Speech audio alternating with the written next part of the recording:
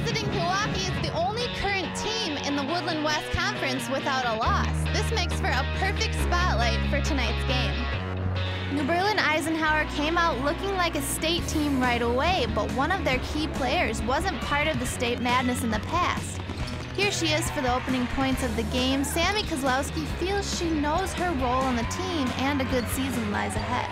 My role on the team is to help others get better, and our seniors have to lead us. And I feel like I, I'm coming as a new person, just getting used to the team, and it'll all work out. Pewaukee fell behind by eight in the first and never gained a lead. The score at the half was 30 to 20 Lions, but this young crew, no doubt, has a positive future ahead. They always come, you know, ready to play, and uh, they want to come out and make a statement. I knew they were undefeated, and I knew if they came in here and got a win, it would really boost them.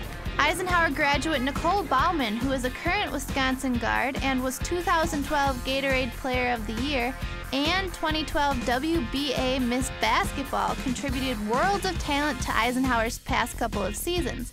The girls feel confident they will work hard and find success as a team following Nicole's departure.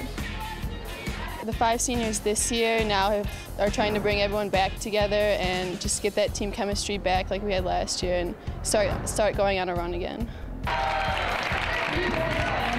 Without Nicole this year, she's, she was a big part last year, but I feel like the whole team is working together this year, and the seniors and the other players are really getting a chance to shine.